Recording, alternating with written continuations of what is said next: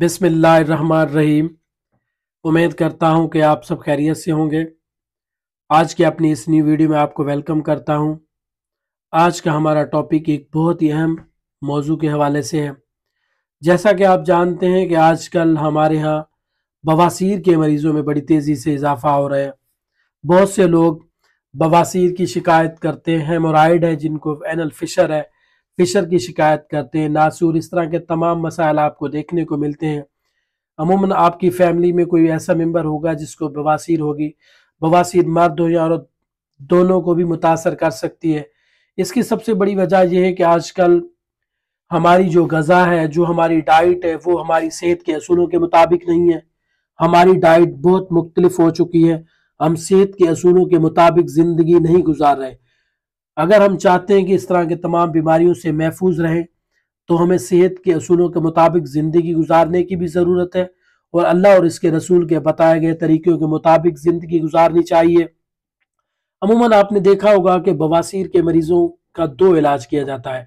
Number one, सबसे पहले उसको कोशिश की जाती है कि मेडिसिन के ज़रिए उसका मसला जो है वो ट्रीट किया जा सके।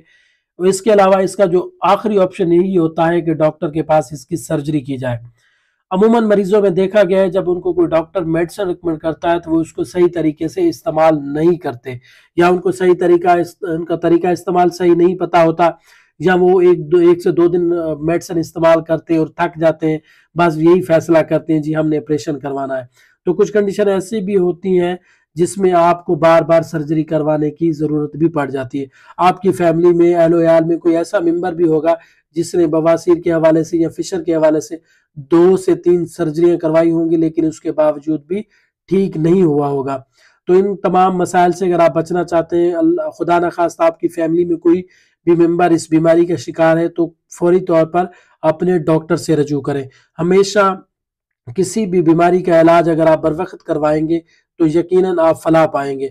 अगर आप बीमारी को सीरियस नहीं लेंगे तो बीमारी आहिस्ता आहिस्ता क्रोनिक होती जाएगी और आपकी तकलीफ़ में भी इजाफा होता जाएगा। इसी तरह जो बवासीर के मरीजों में, हेमराइड के मरीजों में, पायल्स के मरीजों में, फिशर के मरीजों में ज़्यादातर एक करीम इस्तेमाल की जाती है, जिसको जीटीएन के नाम से जाना जाता है। जीटीएन एक बेहतरीन करीम है, जो कि बवासीर और फिशर के मरीजों में इस्तेमाल की जाती है। बवासीर की सूरत में होने वाले दर्द की शिदत को कम करती है पेशाब करने की जगह पर जो खारिश होती है, इचिंग होती है, स्वेलिंग हो जाती है, बर्निंग को, जलन को ख़त्म करने के लिए बेहतरीन है।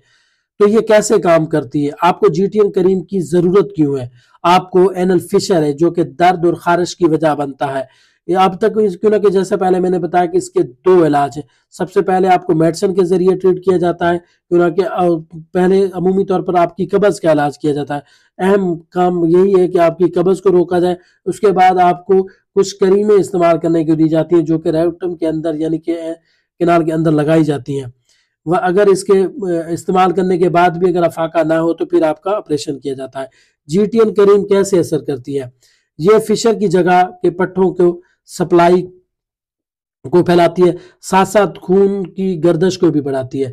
जहाँ अगर जब आप इसका इस्तेमाल करते हैं, मुतासर जगह पर जब आप इस क्रीम को लगाते हैं तो वहाँ पे एक ऐसी मूवमेंट पैदा कर देती है जो कि खून की सर्कुलेशन को भी बढ़ा देती है, जिससे आपकी इचिंग कम हो जाती है, खारिश कम हो जाती है, आपकी दर्द की नोयत भी कम हो जाती है। क्यों ना कि इसके अंदर एक लिग्नो लिग्नोकीन मौजूद होता है, जो कि जैसे आप लगाएँ कि वहाँ की जो मकामी जगह है, वो सुन्न हो जाती है और आपको तकलीफ़ भी नहीं होती और वहाँ पे जो जख्म होता है, वो खून की सप्लाई बढ़ने की वजह से जल्दी बेहतर हो जाता है।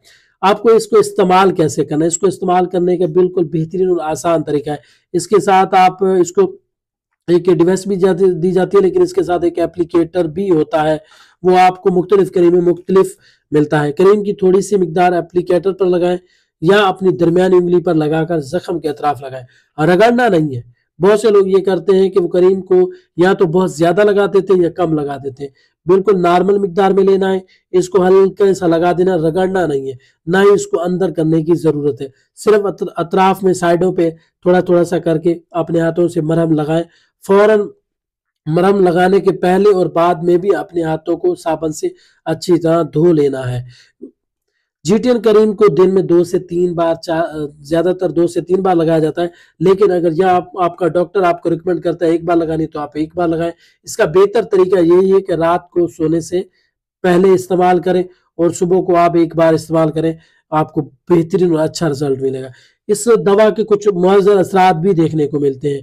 जीटीएन करीम जो इस्तेमाल करते हैं, उनमें जो सबसे ज़्यादा कॉमनली साइड इफ़ेक्ट है, वो हेडेक है सर का दर्द। है कुछ कंडीशन ऐसी भी होती है जिसमें आपको शदीद किस्म का सर का दर्द भी हो सकता है। तो इसीलिए अपने डॉक्टर से फौरी रजू करें। हाँ अगर आपको हल्का फुल्का दर्द होता है तो आप एक से दो दिन में खुद ब खुद ठीक हो जाएगा। आपको किसी किस्म की कोई मेडिसिन लेने की ज़रूरत नहीं है। अगर आपको दर्द बहुत ज़्यादा तंग कर रहा है तो आप कोई पेन किलर मेडिसिन भी इस्तेमाल कर सकते हैं। तो अगर आपको दर्द ज़्यादा हो रहा है, उस पर कमी नहीं हो रही हेडेक ज़्यादा है तो आप इस बात का अंदाज़ा लगा सकते हैं कि आपको जो अजीटियन की करीम की डोज जो इस्तेमाल कर रहे हैं, वो ज़्यादा दवा लगा रहे हैं। तो अपनी दवाई की मकदार को थोड़ा सा कम करें, लेकिन इसको लगाना बंद नहीं करना, इसको एक मुकम्मल लगाना है, जिस तरह आपका डॉक्टर आपको बताता है। इसका दौरान या पंद्रह दिन हो सकता है, हफ़्ता हो सकता है, दो हफ़्ते हो सकते हैं, एक माह भी हो सकता है, ये आपके डॉक्टर पर डिपेंड करता है। इसके बाद इस बात का भी खास ख्याल रखें कि इसके अलावा ऐसे मरीज़ जो दिल के मरीज़ हैं, या कोई दिल की दिल की बीमारी की दवाइयाँ ले रहे हैं तो वो अपने डॉक्टर को लाजमी रजू करें। तो इसीलिए जब भी आप कोई भी मेडिसन डॉक्टर की हिदायत के मुताबिक इस्तेमाल करेंगे तो आपको यकीनन फ़ायदा भी होगा और आपको इसका अच्छा रिज़ल्ट भी मिलेगा। जी टी एन करीम एक बेहतरीन रिज़ल्ट वाली मेडिसन है जो कि हाँ, बवासीर के मरीजों में फिशर के मरीजों में इस्तेमाल कराई जाती है। उम्मीद करता हूँ कि इस वीडियो से आपके इलम में इजाफा हुआ होगा। इनशाला एक नेक्स्ट वीडियो में एक अच्छी मालूमती वीडियो के साथ मुलाकात होगी। तब तक के लिए अपना और अपने अहल का ख्याल रखें। अल्लाह हाफिज़।